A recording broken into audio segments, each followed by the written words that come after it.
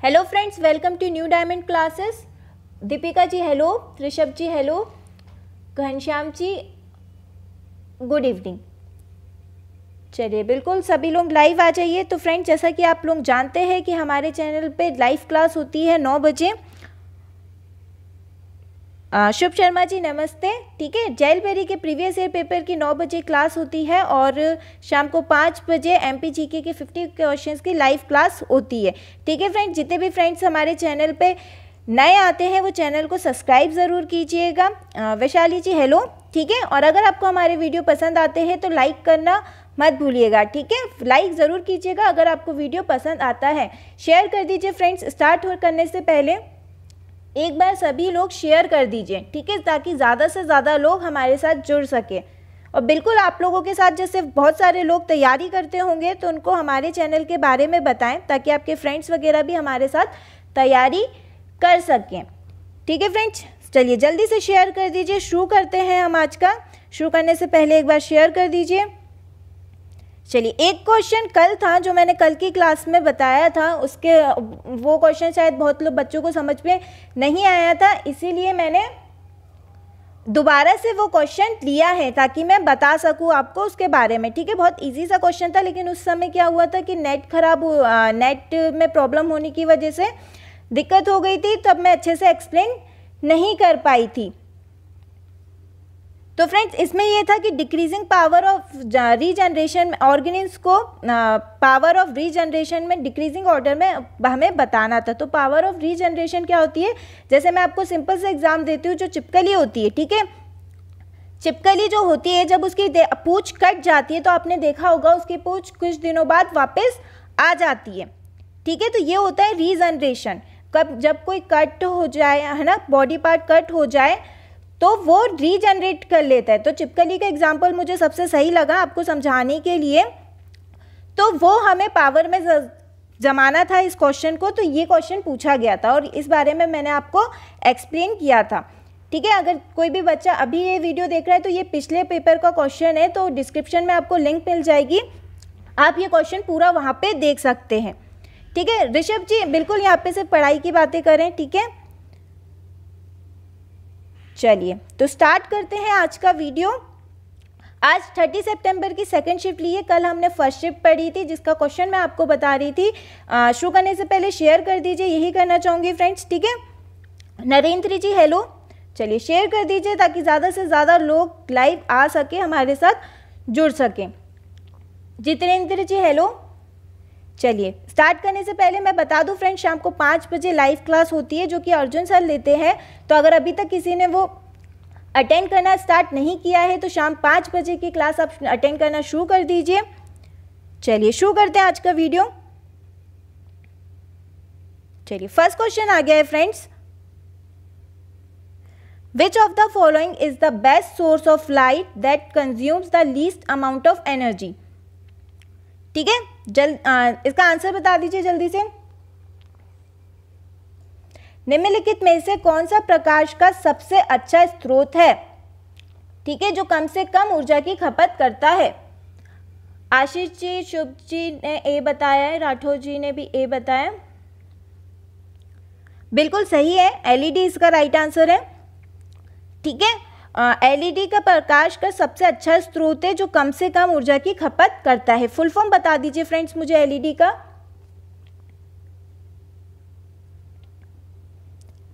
चलिए एलईडी है, ठीक है? एलईडी इसका राइट आंसर है।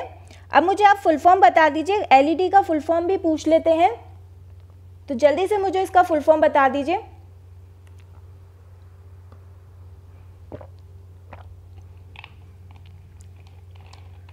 शुभ शर्मा जी और कुशाग्र जी ने बोला है लाइट एमिटिंग डायोड बिल्कुल सही है।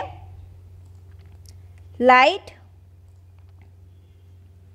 एमिटिंग डायोड ठीक है? जिसको भी नहीं पता हो फ्रेंड्स स्क्रीनशॉट ले लीजिएगा। ठीक है? स्क्रीनशॉट इसका ले लीजिएगा ताकि बाद में आप इसको पढ़ सकें। चलिए। सीएफएल का फुल फॉर्म बता दीजिए। चलिए सी एफ़ एल का फुल फॉर्म भी बता दीजिए L E D C F L इन सब के फुल फॉर्म पूछे जाते हैं। बाकी अब मैं आपको बता दूँ फिलामेंट लैंप क्या होता है? जो नॉर्मल बल्ब होता है, वो होता है, ठीक है? और ये फ्लूरोसेंट लैंप यानी कि ट्यूबलाइट चलिए सी एफ़ एल का फुल फॉर्म मैंने आपसे पूछा था, अगर किसी को पता है तो बता दीजिए, नहीं तो आप नो लिख के भेज सकते हैं ताकि मैं उसका आंसर बता दूँ।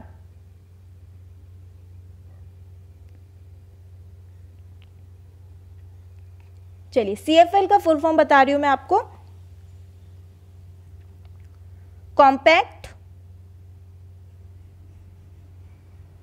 फ्लूरोसेंट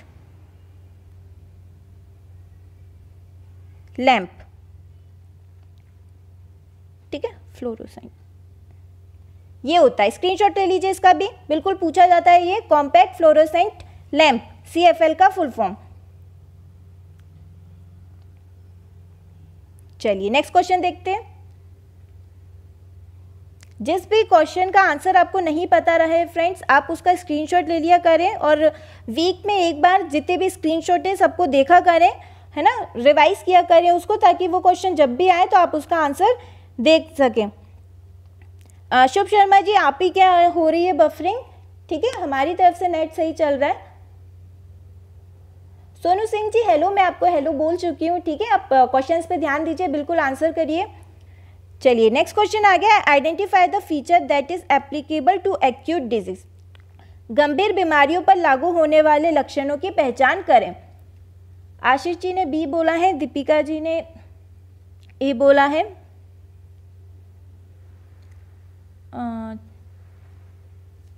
चलिए बिल्कुल सही है। आशीष जी, सोनू सिंह जी, बिल्कुल सही है। ठीक है, बी वाला ऑप्शन बिल्कुल सही है। ठीक है, सामान्य स्वास्थ्य पर कोई बड़ा प्रभाव नहीं पड़ता है। ठीक है, क्या है एक लक्षण? गंभीर बीमारियों पर लागू होने वाले लक्षणों की पहचान। तो जो सामान्य स्वस्थ होता है हमारा, उस पर कोई बड़ा प्रभाव नहीं पड़ता है। जी, शुभ शर्मा जी, वैशाली जी, नरेंद्र जी, बी इसका बिल्कुल राइट आंसर है। चलिए नेक्स्ट क्वेश्चन की तरफ़ बढ़ जाते हैं।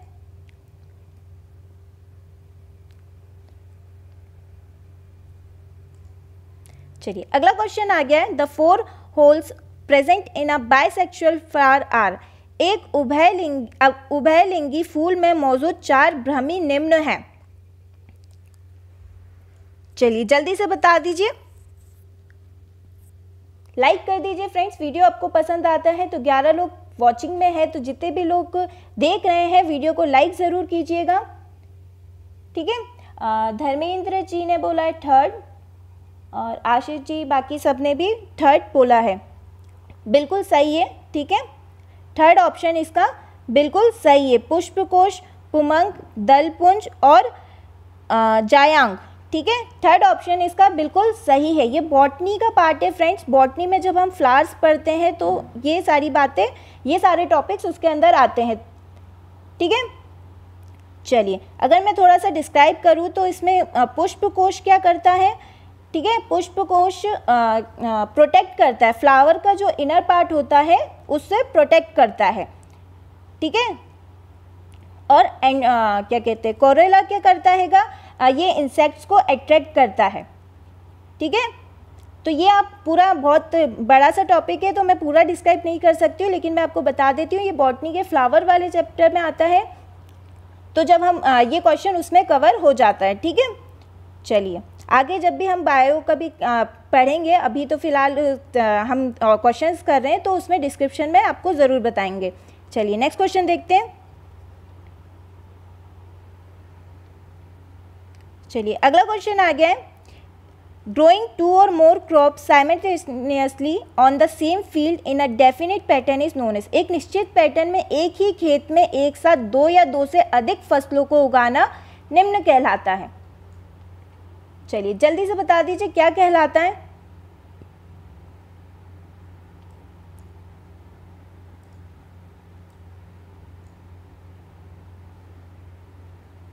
टुडे टाइम्स जी ने थर्ड बोला है और खुशाकर जी ने डी शुभ शर्मा जी ने।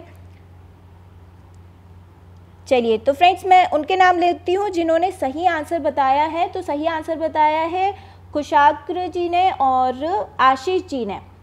ठीक है? डी बिल्कुल सही है इंटर क्रॉपिंग कहलाता है। ठीक है? क्या होगा इसका आंसर? इंटरक्रॉपिंग इंटरक्रॉपिंग कहलाता है। जब एक निश्चित पैटर्न में एक ही खेत में एक या एक साथ दो या दो से अधिक फ़सलों को उगाना क्या कहलाता है? इंटरक्रॉपिंग कहलाता है। ठीक है? मिक्स्ड क्रॉपिंग क्या कहलाता है? जिसमें विभिन्न प्रकार की फ़सलों को एक साथ खेती की जाती है, ठीक है? ये भी मिक्स वो होता है कि अलग अलग फ़सलों को एक साथ खेती की जाती है, लेकिन जब वो एक निश्चित पैटर्न में की जाती है तो वो क्या कहलाता है? इंटरक्रॉपिंग ये ध्यान रखिएगा डेफिनेट पैटर्न ठीक है? ये मेन की है तो निश्चित पैटर्न में जब की जाती है तो वो कहलाती है इंटरक्रॉपिंग इतना ही डिफरेंस है मिक्स्ड और इंटरक्रॉपिंग में मिक्स क्रॉपिंग और इंटरक्रॉपिंग में. ठीक है? तो ध्यान रखिएगा कि क्वेश्चन आपसे कैसा पूछा जा रहा है। चलिए नेक्स्ट क्वेश्चन की तरफ़ बढ़ जाते हैं।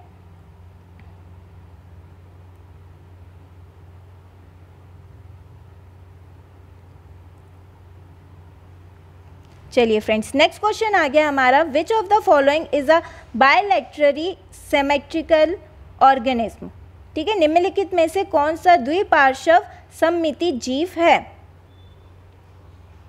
चलिए, धर्मेंद्र जी ने सी बोला है स्टारफिश चल फ्रेंड्स घनश्याम जी ने डी बोला है आशीष जी ने भी डी बोला है। बाकी सब आ, बिल्कुल अर्थफॉर्म इसका राइट आंसर है। ठीक है सभी स्टारफिश बायोलेट्रली सिमेट्रिकल नहीं होती है ठीक है? सभी स्टारफिश नहीं होती हैं। तो अर्थफॉर्म है अर्थफॉर्म इसका राइट आंसर है ठीक है? अर्थफॉर्म, इसका राइट आंसर है। सभी स्टारफिश बायोलेट्रिक लिटरली सिमेट्रिकल नहीं होती है, कुछ कुछ रेडियल भी सिमेट्रिकल होती है, ठीक है? रेडियल भी होती है। कुछ कुछ रेडियल भी होती हैं, इसलिए स्टारफिश इसका राइट आंसर नहीं होगा। राइट आंसर क्या होगा? अर्थफॉर्म, जो कि एक द्विपार्श्व सम्मिति जीव है। ठीक है फ्रेंड्स ध्यान रखिएगा स्क्रीनशॉट ले लीजिए जिन जिन ने भी गलत बताया है इसका आंसर नेक्स्ट क्वेश्चन की तरफ़ बढ़ जाते हैं।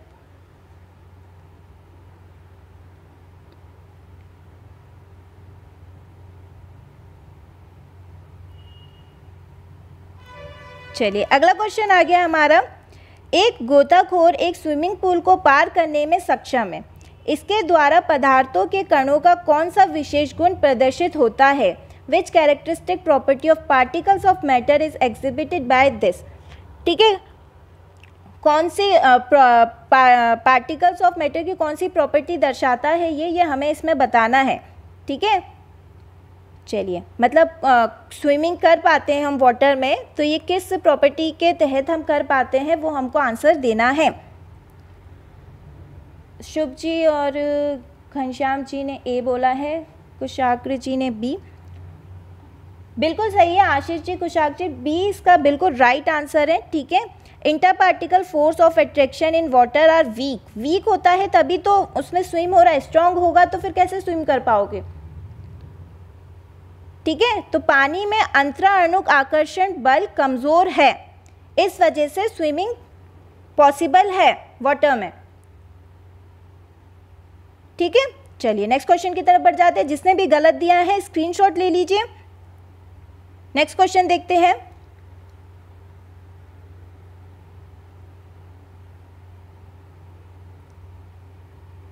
चलिए, अगला क्वेश्चन आ गया है। The rear view mirrors of the vehicle should produce वाहन के पश्च दृष्टि दर्पणों को निर्मित करना चाहिए। ठीक है कैसे इमेज बताते हैं? जल्दी से बता दीजिए। तो ऑप्शन है इन्वर्टेड और diminish diminished image enlarge and inverted image enlarge and erect image या छोटा आभासी और सीधा प्र, सीधा प्रतिबिंब। जितेंद्र जी ने डी कहा है और दीपिका जी और शुभ जी ने। चलिए, बिल्कुल फोर्थ ऑप्शन इसका राइट है फ्रेंड्स ठीक है? छोटा, आभासी और सीता प्रतिबिंब जो रियर व्यू मिरर्स गाड़ियों में लगते हैं तो हमें जो पीछे का व्यू रहता है, गाड़ियाँ हमें बड़ी थोड़ी ना दिखती है। कैसे दिखती है? छोटे, छोटी इमेज दिखती है उसकी, सीधी रहती है और आभासी इमेज रहती है, ठीक है? तो फोर्थ ऑप्शन इसका बिल्कुल सही है। और कौन सा मिरर होता है ये? Convex mirror.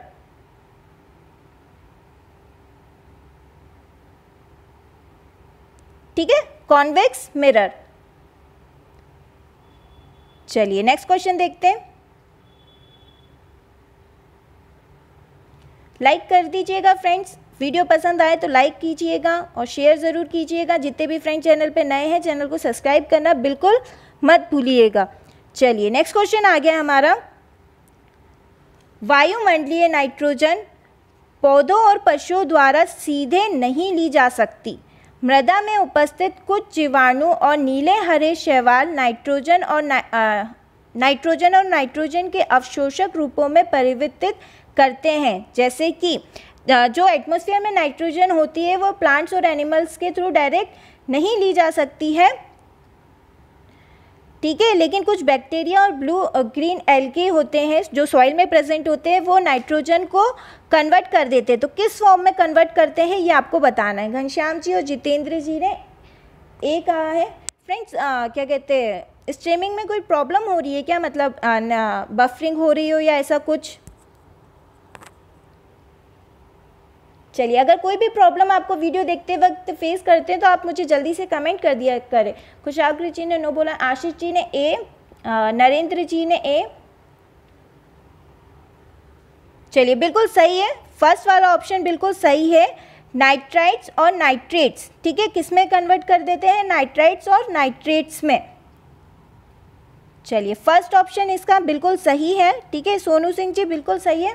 ठीक है, रिंकू जी ए ऑप्शन इसका।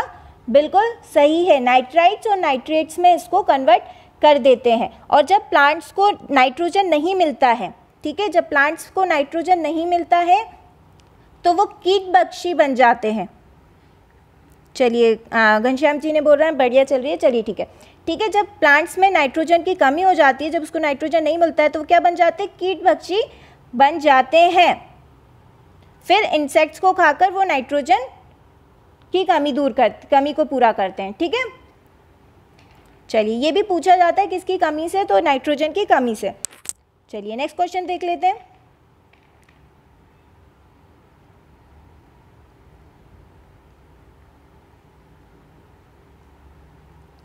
चलिए, अगला क्वेश्चन आ गया है। गर्मियों के मौसम में घर की ऊपरी और बाहरी सतह को सफ़ेद रंग दिया जाता है, क्योंकि क्यों दिया जाता है? बहुत ही इजी सा क्वेश्चन है। जल्दी से आंसर बता दीजिए। ऊपरी और बाहरी सतह को सफ़ेद रंग क्यों दिया जाता है गर्मी के मौसम में? चलिए, जल्दी से कमेंट कर दीजिए। आशीष जी ने बोला ए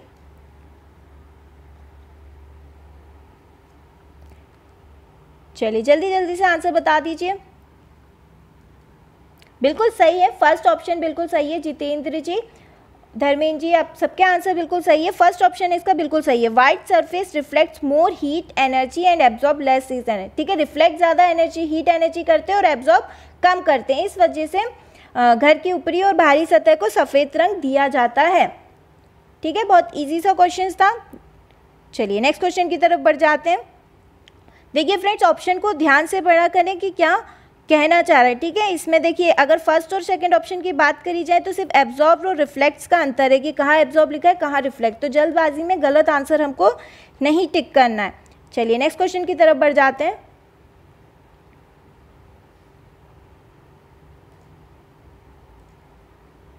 चलिए, अगला क्वेश्चन आ गया है। Digestion of carbohydrates proteins and fats is completed by the action of carbohydrate protein और वसा का पाचन देश की क्रिया से पूरा होता है। ठीक है? तो जल्दी से इसका आंसर बता दीजिए, किसकी क्रिया से पूरा होता है? ऑप्शन है आंत्र रस पित्त और पेनक्रियाटिक जूस और आमाशय रस। चलिए जल्दी से आंसर बता दीजिए। जितेंद्र जी ने बोला है सी फ्रेंड्स नहीं पता होने पे आप नो लिख के भेज सकते हैं ताकि मैं आपको जल्दी से आंसर बता दूँ। ठीक है? चलिए फ़र्स्ट ऑप्शन इसका बिल्कुल सही है। ठीक है? फ़र्स्ट इसका सही है। आशीष जी घनश्याम जी, बिल्कुल सही है आपके आंसर ठीक है? रिंकू जी, बिल्कुल सही है। सब लोग इसका स्क्रीनशॉट ले लेंगे। आंत्र रस की क्रिया से पूरा होता है। ठीक है? Digestion of carbohydrate protein and fat is completed by the action of intestinal juice ठीक है? चलिए सीक्रेशन कहाँ से होता है इसका? तो स्मॉल इंटेस्टाइन से होता है, ठीक है?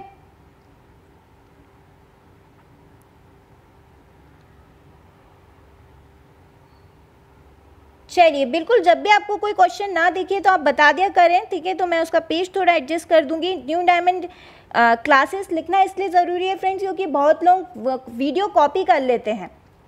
ठीक है? आप समझ रहे हैं, इतनी मेहनत से अगर हम पढ़ा रहे हैं, बता रहे हैं तो वीडियो को कॉपी कर लेते हैं। तो उस कॉपी ना हो, इसीलिए हम उसको लिखते हैं, ताकि कोई कॉपी ना कर पाए। ठीक है? तो अगर आपको कोई क्वेश्चन नहीं दिखता है तो बिल्कुल आप कमेंट कर दिया करें कि मैडम क्वेश्चन नहीं दिख रहा है तो मैं थोड़ा सा एडजस्ट कर दूँगी फ्रेम को। ठीक है? जल्दी से इसका आंसर बता दीजिए। हाँ तो आंसर तो मैंने बता दिया, ये बता रही थी मैं कि कहाँ कहाँ से सीक्रेट होता है तो ये होता है स्मॉल इंटेस्टाइन से।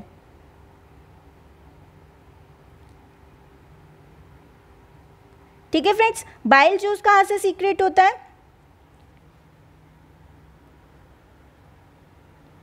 चलिए जल्दी से बता दीजिए बाइल जूस का सीक्रेशन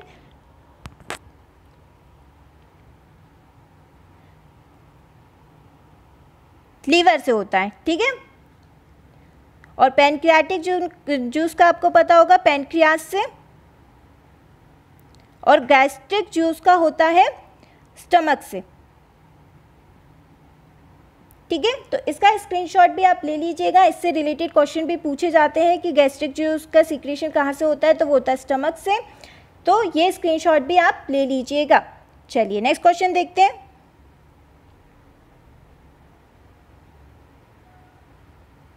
नेक्स्ट क्वेश्चन आ गया है friends Some salts absorb water from the atmosphere and dissolve in it. The property of this salt is, कुछ लवण वातावरण से जल को अवशोषित करते हैं और उसमें घुल जाते हैं। ठीक है? इन लवणों की निम्न विशेषता है। चलिए, जल्दी से बता दीजिए इसका राइट आंसर क्या होगा। सॉल्ट की कौन सी प्रॉपर्टी है ये?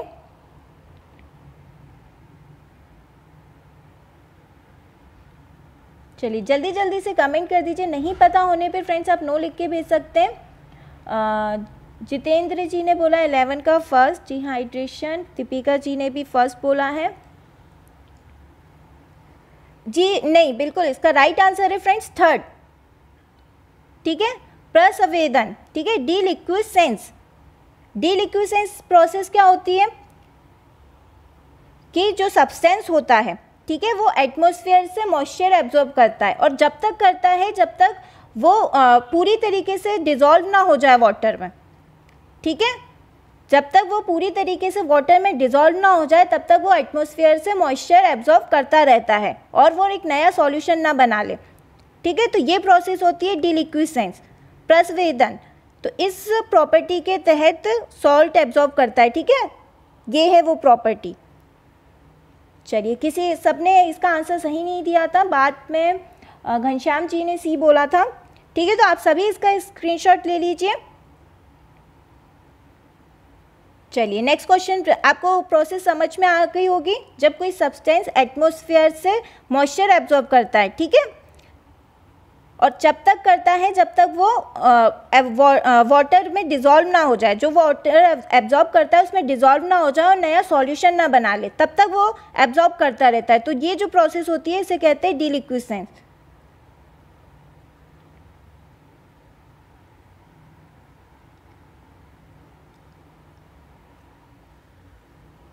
चलिए नेक्स्ट क्वेश्चन की तरफ़ बढ़ते हैं।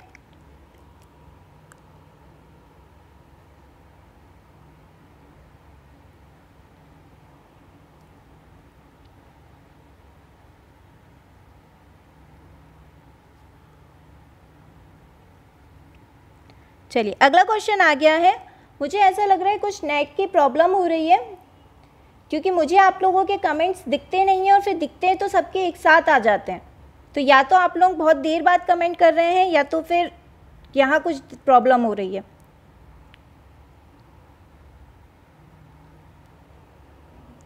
चलिए नेक्स्ट क्वेश्चन आ गया है। एक रासायनिक परिवर्तन की विशेषताओं के संदर्भ में असत्य कथन का चयन करें। ठीक है केमिकल चेंज की जो कैरेक्टरिस्टिक है, उसमें कौन सी कैरेक्टरिस्टिक गलत लिखी हुई है?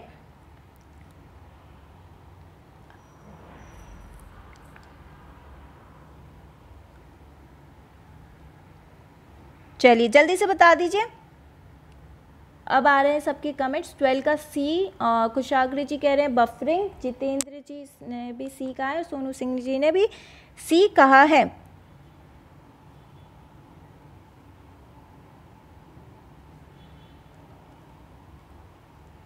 चलिए तो हम मैं ऑप्शन पढ़ देती हूँ कि आ, क्या है कि क्या आ, तो इसका जो थर्ड वाला ऑप्शन है क्वेश्चन का आंसर तो हटाया ही नहीं हमने। जब नेट प्रॉब्लम होती है तो बिल्कुल ध्यान भटक जाता है पढ़ाने से। चलिए, जैसा कि आपको दिख गया है कि थर्ड वाला आंसर बिल्कुल सही है produces heat during the reaction ठीक है? कुछ नेट का प्रॉब्लम हो रहा है फ्रेंड्स तो कनेक्ट नहीं कर पा रही हूँ क्योंकि आपके चैट मुझे लेट दिख रहे हैं। है ना? तो बिल्कुल इसका थर्ड इसका राइट आंसर है produces heat during the reaction ये गलत है।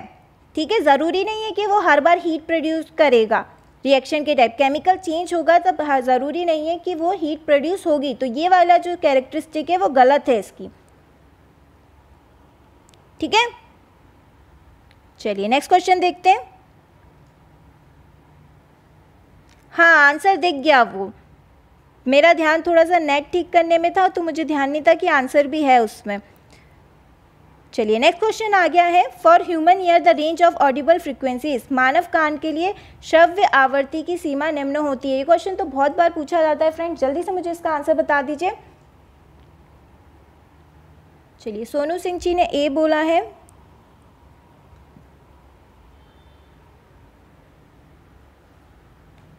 घनश्याम जी ने ए कुशाग्र जी ने सी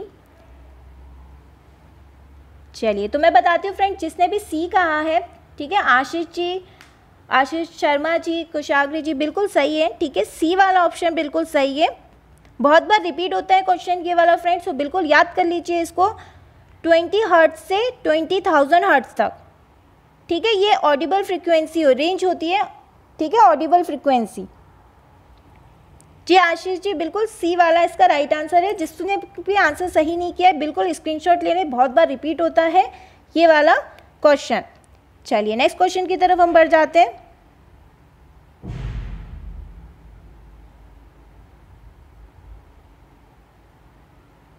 चलिए, घनश्याम जी कह रहे हैं एमपीपीएससी में भी पूछा गया था तो देख लीजिए कितना इंपॉर्टेंट क्वेश्चन है, बिल्कुल आपको पता होना चाहिए। चलिए नेक्स्ट क्वेश्चन आ गया है। Two charge bodies are kept at a distance of ten centimetre apart दो आवश्यक निकायों को 10 सेमी की दूरी पर रखा जाता है। The force acting in between them उन दोनों के बीच कार्यरत बल निम्न है, ठीक है? दो चार्ज बॉडीज़ हैं टेन सेंटीमीटर की दूरी पर इनको रखा है तो कौन से फोर्स लगेंगे इनके बीच में? वर्क करेंगे, वो हमें आंसर में बताना है। चलिए, अंबालिका जी ने बोला है सेकंड कुशाग्री जी ने बोला है ए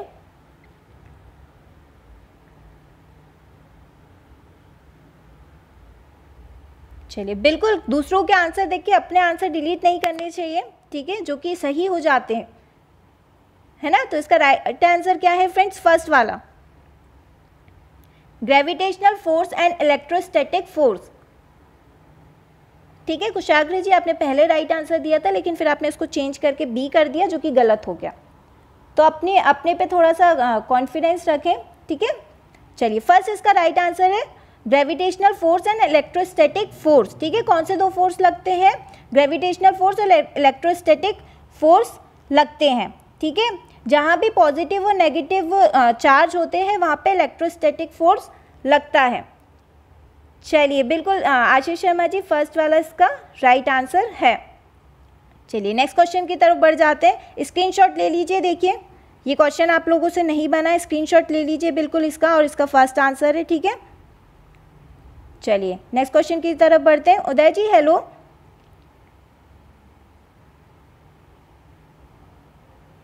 चलिए नेक्स्ट क्वेश्चन आ गया है हमारा।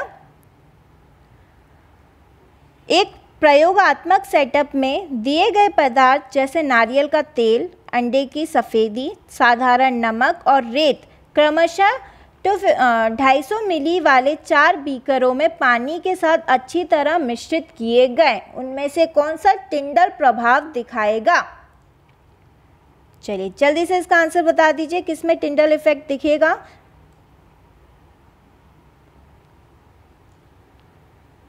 नहीं पता होने पे फ्रेंड्स आप नो लिख सकते हैं, ठीक है?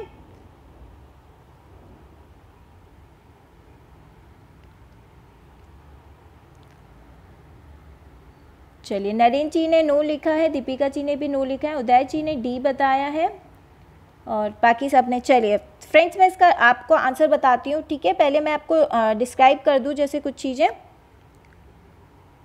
तो इसका आंसर क्या हो जाएगा? फोर्थ वाला, ठीक है?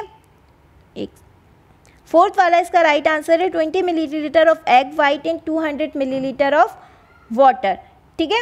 ये इसका राइट आंसर है। जब आ, कोई भी सॉल्यूशन जैसे कि जब कॉलेडल सॉल्यूशन बताता है जब हम एग वाइट को वाटर में मिक्स करेंगे तो वो क्या बताएगा? कॉलेडल सॉल्यूशन बताएगा। और जब कॉलेडल सॉल्यूशन बनता है तो वो टिंडल इफ़ेक्ट दिखाता है। अब बात है कि कॉलेडल सॉल्यूशन क्या होता है? ठीक है? तो कॉलेडल सॉल्यूशन के बारे में जान लीजिए कि वो होता है कि आ, वो एक मिक्सचर होता है जिसमें एक सब्सटेंस अगर किसी एक सब्सटेंस को हम उसमें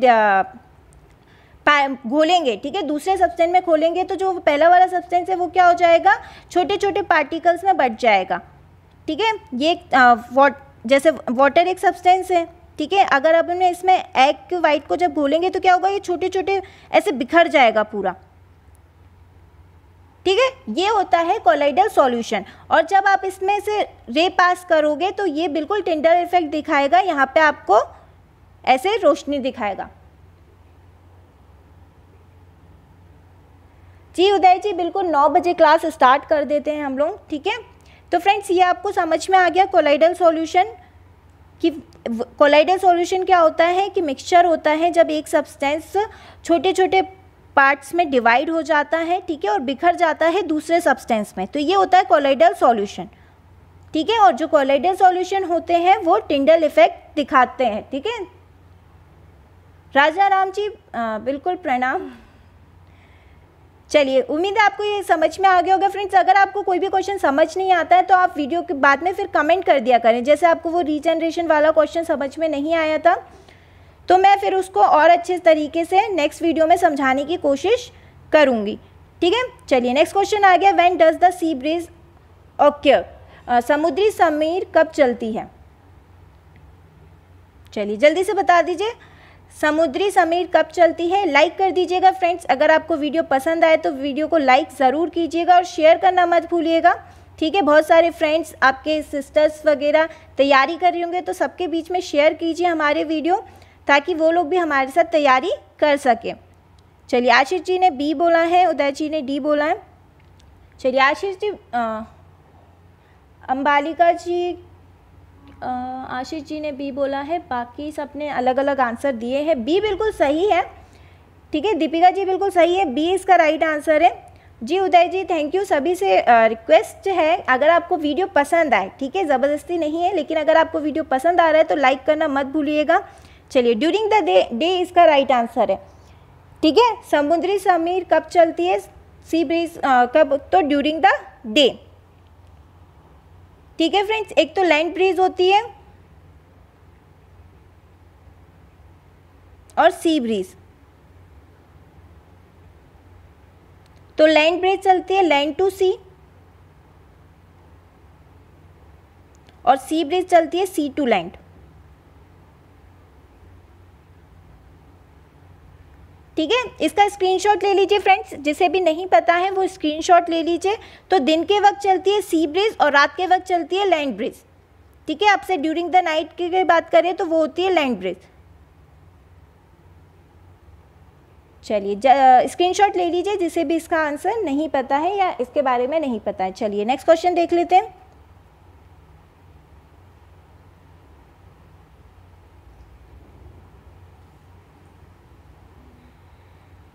चलिए, अगला क्वेश्चन आ गया है which of the following is a homogeneous mixture चलिए, बिल्कुल, जो भी क्वेश्चन आपसे नहीं बनता है, जो बनता है वो तो ठीक है आपको आता है, पर जो नहीं बनता है, उसका स्क्रीनशॉट ले लिया करें आप, और फिर हफ़्ते में एक बार सारे स्क्रीनशॉट देखा करें, ठीक है, ताकि तब भी, जब भी वो क्वेश्चन रिपीट हो तो आप उसका आंसर सही लगा सके। चलिए कुशाग्र जी ने सी कहा है शुगर इन वाटर चलिए, और आशीष जी और आशीष शर्मा जी, दीपिका जी, सब बिल्कुल सही है, सबके आंसर बिल्कुल सही sugar in water right answer है, ठीक है? होमोजीनियस मिक्सचर का कौन सा उदाहरण चाहिए तो वो नीचे शुगर इन वाटर, ठीक है? पानी में चीनी, क्या होता है? होमोजीनियस मिक्सचर और हाइड्रोजीनियस मिक्सचर। होमोजीनियस मिक्सचर ये होता है, ठीक है? जैसे मान लीजिए कि ये बीकर में पानी में आपने शुगर मिलाई थी ठीक है अब जब आप इसका जैसे मान लीजिए आप यहाँ से इसका सैंपल लेके टेस्ट करते हैं ठीक है अगर मान लीजिए आ रहा है प्रपोर्शन कितना आ रहा है कि हंड्रेड प्रपोर्शन हंड्रेड वाटर है और टेन शुगर है। अगर आप यहाँ इस लेवल पे टेस्ट करेंगे तब भी हंड्रेड टेन आएगा ठीक है? इस लेवल पे टे, टेस्ट करेंगे जब भी हंड्रेड टेन आएगा। मतलब इसका प्रोपोर्शन सेम रहता है बदलता नहीं है ठीक है? लेकिन हेट्रोजीनियस मिक्सचर क्या होता है? मान लीजिए आपने आ, क्या कहते हैं सीमेंट और सैंड का मिक्सचर लिया है ठीक है? सीमेंट और सैंड का मिक्सचर लिया है। अब जब आप यहाँ पे चेक करेंगे तो मान लीजिए हंड्रेड फिफ्टी आ रहा है। यहाँ आपने चेक किया तो एट्टी नाइन्टी आ रहा है। तो चेंज तो ये होता है हेट्रोजीनियस मिक्सचर मुकेश विश्वकर्मा जी स्वागत है आपका हमारे चैनल पे। अंबालिका जी बिल्कुल डिजिटल बोर्ड क्योंकि मैं कोई प्रोफेशनल कोचिंग टीचर नहीं हूँ तो डिजिटल बोर्ड तो हमारे पास नहीं है है ना? चलिए ऋषभ जी ने आ, बिल्कुल हेलो चलिए नेक्स्ट क्वेश्चन आ गया है ठीक है तो हम कोशिश करते हैं कि जितने भी साधन हमारे पास है उसके ज़रिए ही हम आपको पढ़ा सकें क्योंकि कोचिंग मेरा प्रोफेशन नहीं है मैं गवर्नमेंट जॉब में हूँ बस मैं ये चाहती हूँ कि जिस तरह मेरा सिलेक्शन हुआ है मैं आप लोगों के भी सिलेक्शन में आपकी हेल्प कर सकूँ। चलिए। नेक्स्ट क्वेश्चन आ गया the given distance time graph represents चलिए जल्दी से बता दीजिए इसका आंसर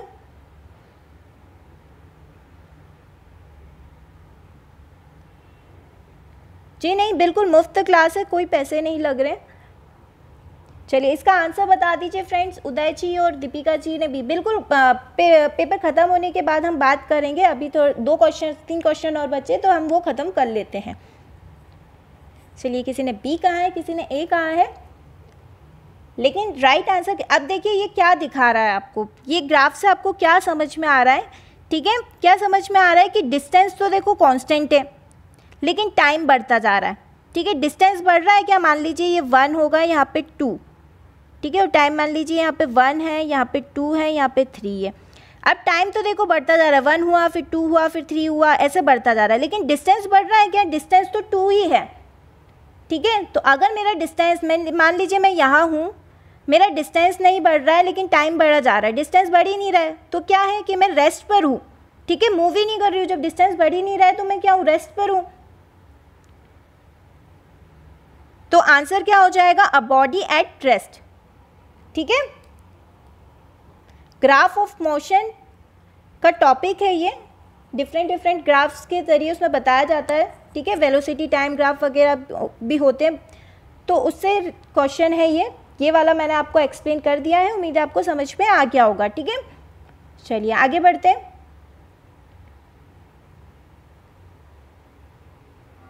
जी नहीं, ऋषभ जी, बिल्कुल नहीं, ठीक है अलग अलग डिपार्टमेंट में होती है पोस्ट ठीक है, अलग, सबके डिपार्टमेंट्स अलग होते हैं।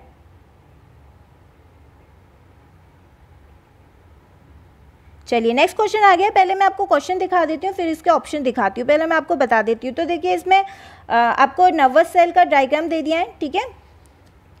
ये नर्वस सेल का डायग्राम है। इसमें आपसे उन्होंने पूछे है कि क्या क्या बोलते तो ये, जो ये वाला पार्ट होता है ना, उसका नंबर वन रखा है।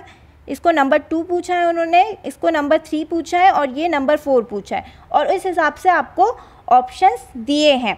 ठीक है फ्रेंड्स? चलिए ऑप्शन की तरफ़ एक बार नज़र मार लेते हैं कि क्या है। चलिए तो जल्दी से आपको दिख रहा होगा। मुझे बता दीजिए इसका राइट आंसर कौन सा होगा। ठीक है, नर्वस सेल का डायग्राम है। नर्वस सेल के बारे में आपसे पूछा गया है डायग्राम के थ्रू आपसे पूछा गया है। ऋषभ जी, पढ़ाई कर लेते हैं। ठीक है? आप मेरे बारे में जानना उतना इम्पोर्टेंट नहीं है जितनी आप लोगों को तैयारी करना इम्पोर्टेंट है।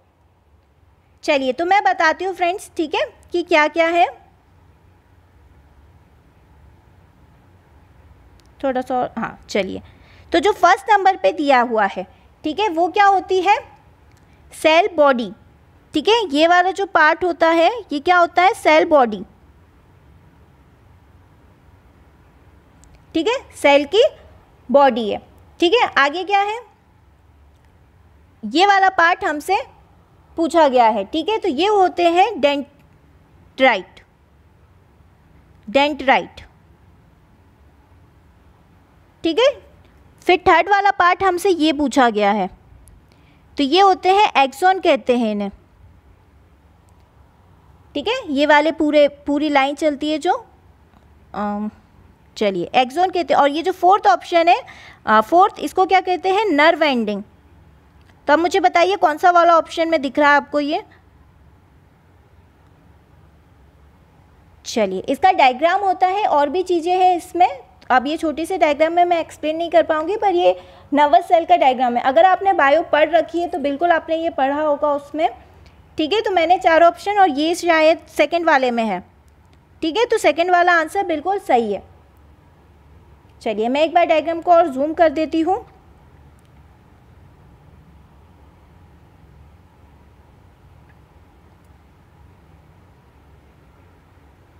ठीक है ये था हमारा। तो हमने बता दिया कि ये सेल बॉडी है, ठीक है?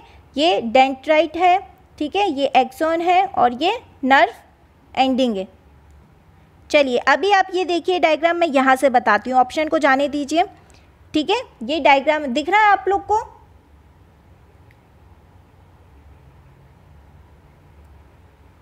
और जूम कर देती हूँ मैं। चलिए, ये नर्वस सेल का डायग्राम है, ठीक है? इसमें आपसे ये पार्ट्स पूछे हैं कि क्या क्या है तो इनके नाम आपको देने हैं। तो ये वाला जो पार्ट है, ये है सेल बॉडी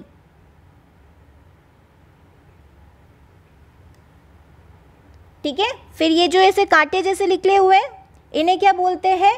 डेंटराइट्स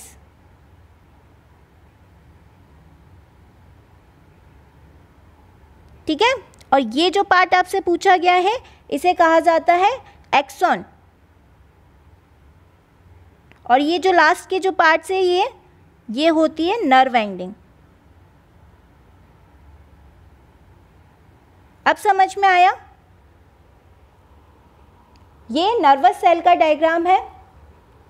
ठीक है, उम्मीद है अब आपको ये समझ में आ गया होगा। चार ऑप्शन पूछे गए थे तो सेकंड वाला जो ऑप्शन था, उसमें ये चारों ऑप्शन दिए थे और सही कर्म में दिए हुए थे।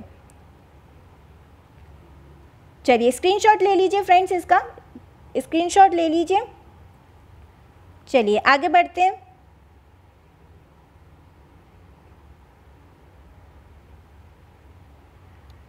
चलिए लास्ट क्वेश्चन है हमारा, जल्दी से इसका आंसर बता दीजिए। An ion X two positive contains 18 electrons and 20 neutrons चलिए जल्दी से इसका आंसर बता दीजिए।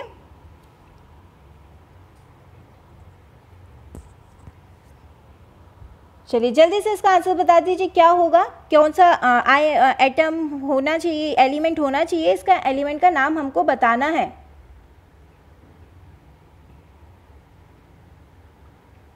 ऑप्शन है पोटेशियम कैल्शियम मैग्नीशियम और आर्गन चलिए उदय जी ने बी बोला है। आ, बिल्कुल सही है उदय जी बी बिल्कुल इसका राइट आंसर है। ठीक है? कैसे निकाला? देखो 18 इलेक्ट्रॉन्स दिए गए हैं इसमें। 18 इलेक्ट्रॉन्स आपको बता रखा है।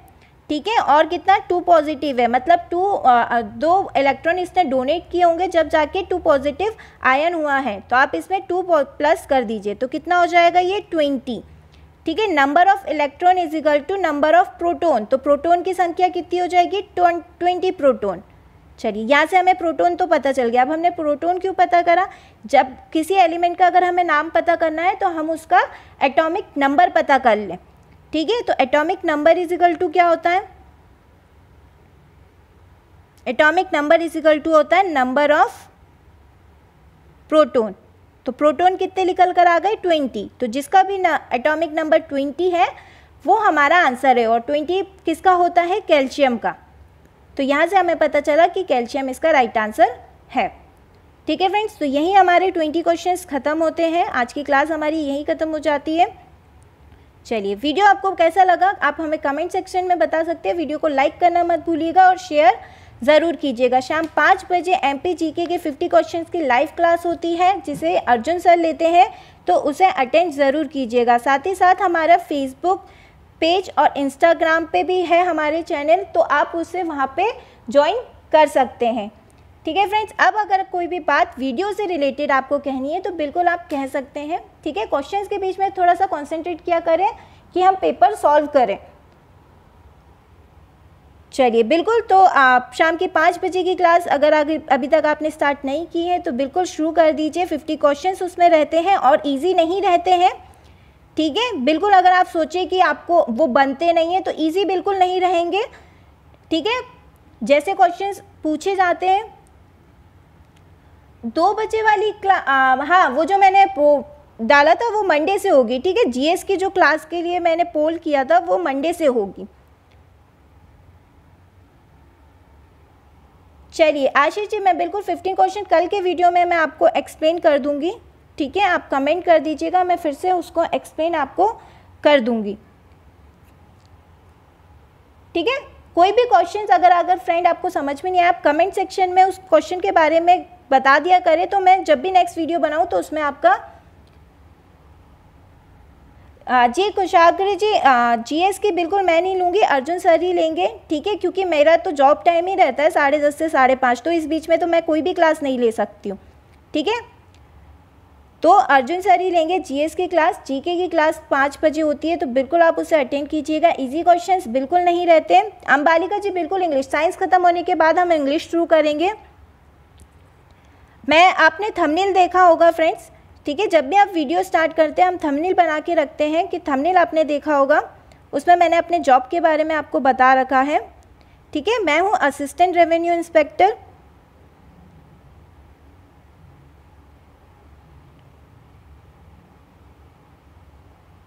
चलिए और ये जॉब मैंने व्यापम से, आ, से ही ली है। ठीक है? इसीलिए मैं चाहती हूँ कि जिस तरह मेरा पेपर निकला है, मेरी जॉब लगी है तो आप लोगों का भी एग्ज़ाम निकल जाए और आप लोग को भी जल्दी से जल्द जॉब लग जाए। ठीक है? तो मैं जिस तरीके से मैंने तैयारी की थी, मैं बिल्कुल आप लोगों को वैसे ही बताती हूँ।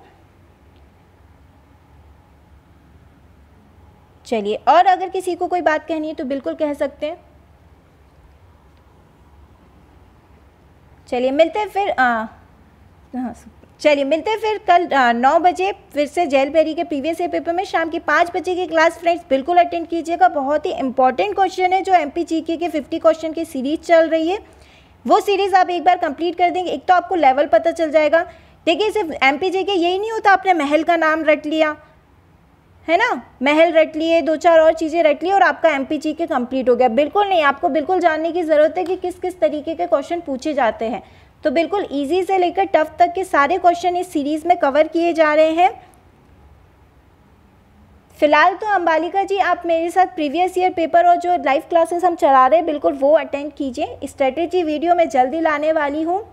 थोड़ा सा टाइम मिल जाए, ठीक है? फिर स्ट्रेटेजी वीडियो भी आपको मिल जाएगा।